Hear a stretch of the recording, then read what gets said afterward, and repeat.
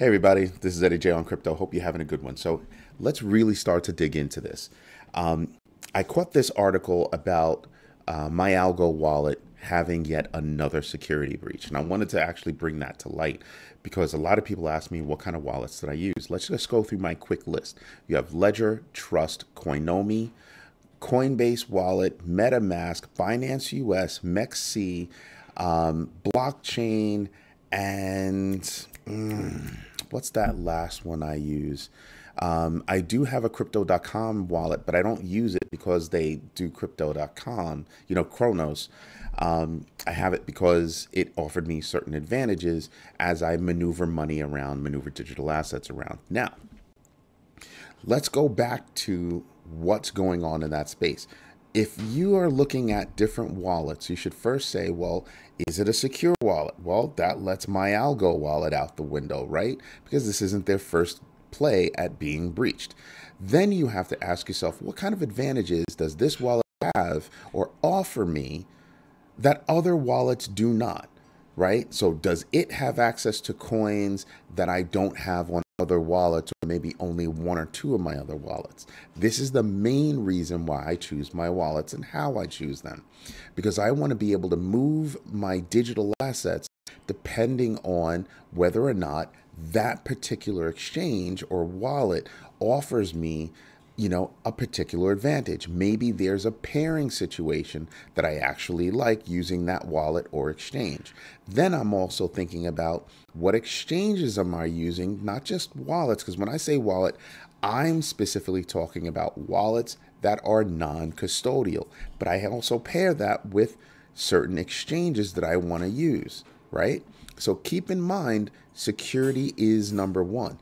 If, if it can't keep your digital assets secure, you need to not use it, period.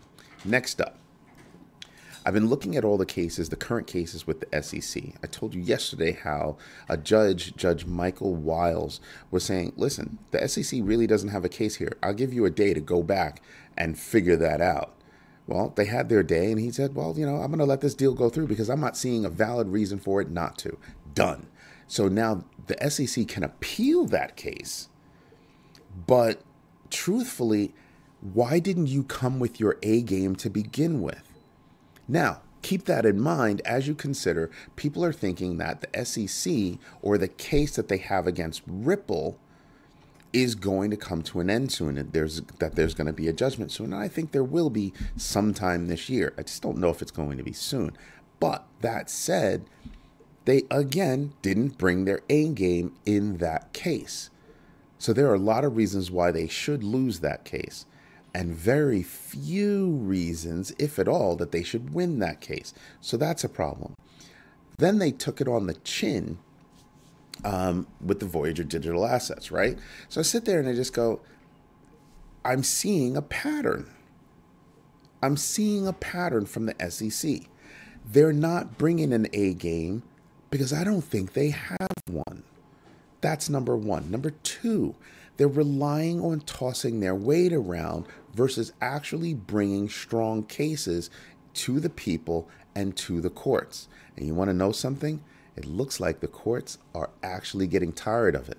Because when you look at the three judge panel that are presiding over the Grayscale case, you know, Grayscale is suing the SEC. They're not being sued by the SEC. They're suing the SEC over not giving them approval for their Bitcoin spot ETF.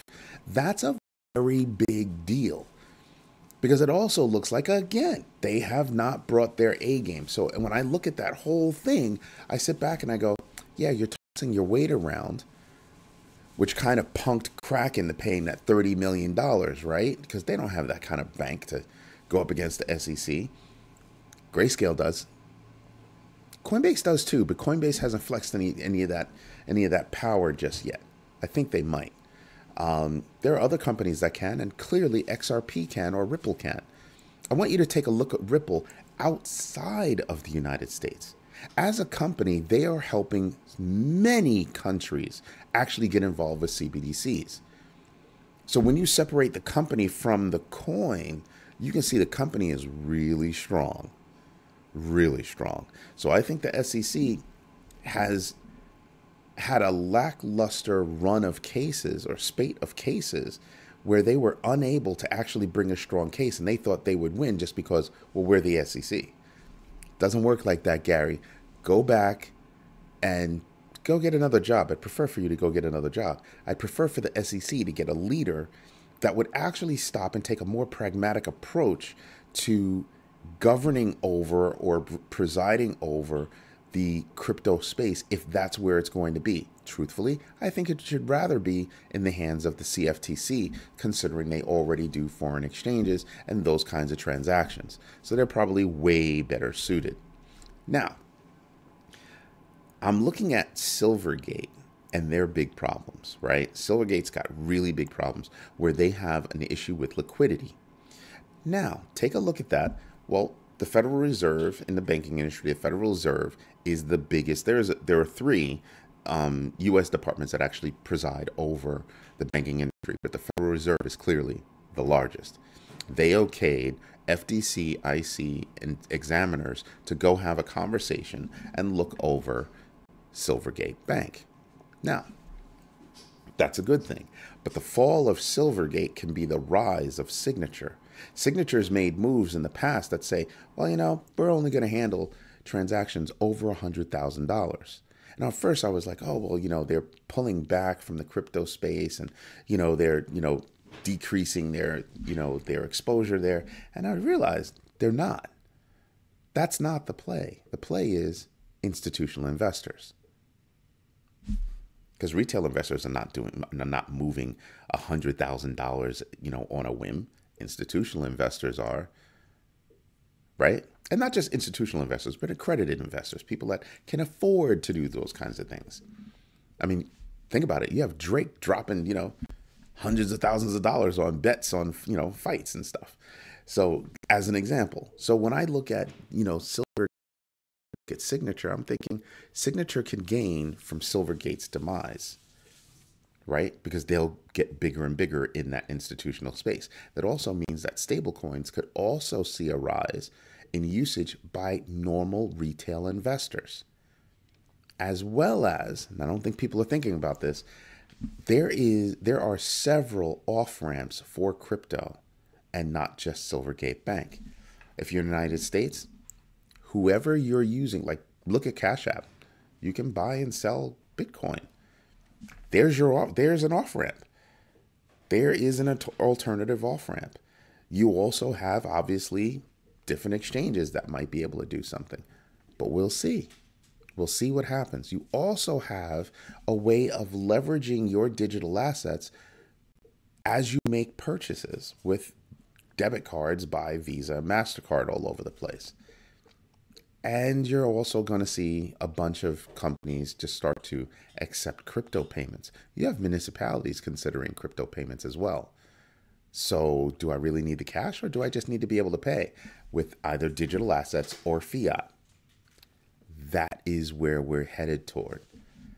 And the more the government tries to squeeze, the more alternative methods come to light.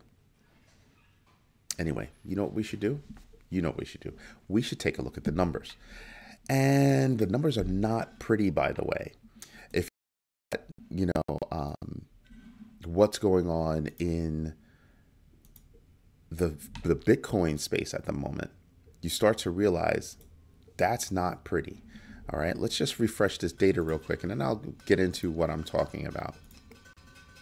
So, when you look at Bitcoin, first let's go over to the biggest 25 winners and losers, right? OKB is down 8%. So this whole rack, this whole rack is down minimum 6%, right?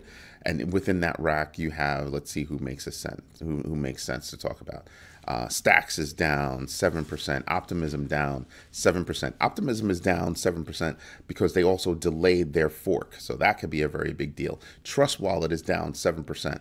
Not a coin that I play with, so yeah, I'm not really worried about it. But still, it's a big player in the space, so you kind of, you know, could look at it and see what's going on. AMP is down 8%. OKB is down 8%. Uh, let's see who else. Singularity was down yesterday and they're down again today, another 8%. So that's something I would be looking at if I think that, you know, SingularityNET is going to come back. If I do think it's going to come back, it's down a lot. So it could be oversold. I'd have to take I'd have to take a deeper look to see that. There's nobody else on this list that I'm really paying attention to. Now, on the winning side, there's really nothing because CoinMetro, never heard of it. Not even going to pay attention to it. 108, ranked 188th. Yeah, no, nah, I'm good off that. Um, let's see. Voyager is up 56%, but I told you before I would not be touching the Voyager with a 10 foot pole and somebody else holding it. So that's not that's not going to happen. Bone, that's right. Bone ShibaSwap. Guess what? Up 24%. That's something to pay attention to. Why is it spiked like that? Oh, I don't know. Maybe because Shibarium's coming out this week. So now we have to see if the hype is actually going to keep it going. And that's something to contend with right there. That's not a small feat. Immutable X up 6%. And that's it. Everything else, including XRP being up 4%, I told you, I don't really pay attention to 4% rises. From zero, 4% rises. Now, if it had been down, and then it came to the positive side, that's something I'm paying attention to because that's actually a nice rise over a longer period, right? So I pay attention to those things just to make sure that I have my eye on the tiger. That's the idea. Something else that people are not paying attention to all that much is the deflationary tone of Ethereum. Look at this. Data day by day, we're down. The actual supply chain to date since, you know, since the event has been 48,644 ETH down that makes ETH more valuable as there's less less ETH out there. Pay attention to what's going on. Get deep into your research. Pay attention. Fear and greed index. Yep. We were at 48 yesterday. It's at 50 today. Still in the neutral zone, and I think we could be in the neutral zone for a minute. DeFi total value locked is down to 64 billion. Now, again, you know, we had had highs at about, you know, 65, 68 billion, and we're down all the way here. But remember, previously we were all the way up above 240 billion total value locked. I really do think that that will return, just not yet. Looking at Bitcoin again, Bitcoin took a hit, a really huge hit right there. Just follow my crosshairs because I know you can't see my cursor. But you're being basically, you know, looked at as its lateral movement. But again, we've got to have we're going to have to battle back to that 23 417. I think it'll be a while because again, Jay Powell, chairman of the F, of the FOMC, talks again today. This time to the House. Yesterday it was the Senate. Today it's the House. Nothing's going to change in the statements. People are just going to have to figure out what's going on. Is it going to be a 25 basis point move or is it going to be a 50 basis point move? Right now, bets are it's going to be a 50 basis point move. So right now, everybody's working that into their algorithms as they move forward. And we have certain non-farm numbers that are going to come out later this week. And then you have CPI next week. And then he'll have enough, not enough, but he'll have some more information to work with. And that's when you'll figure out, yeah, pretty solid on that 50%, that 50 basis point move. That's what I'm looking at looking at the big picture, something that we should be paying attention to, Bitcoin was down as low as 21.8. Pay attention. Those to, again, to me, these are opportunities for me to get in, get in some more. So again, I keep telling you I have a dollar cost averaging strategy where I buy, you know, a certain amount of, with a certain amount of money every week. But I also take that same strategy and put it toward that I have a certain amount of money that I'm putting on the side every week for times like this when things take a dip, right? I'm not running away from crypto. I'm sticking with it. I'm building on it. And I strongly suggest my kids do the same thing. So do your own research so you can get there. Anyway, this is Eddie Jay on crypto. Hope you have a good one. If you have any questions, do me a favor, leave it in the comments, and let's see if I can find something for you. All right, and learn something on the way, because that's what's important. Have a good one.